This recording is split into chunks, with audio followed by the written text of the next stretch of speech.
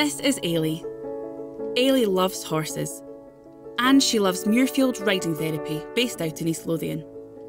Like loads of other participants, Eilidh comes along for regular therapy sessions.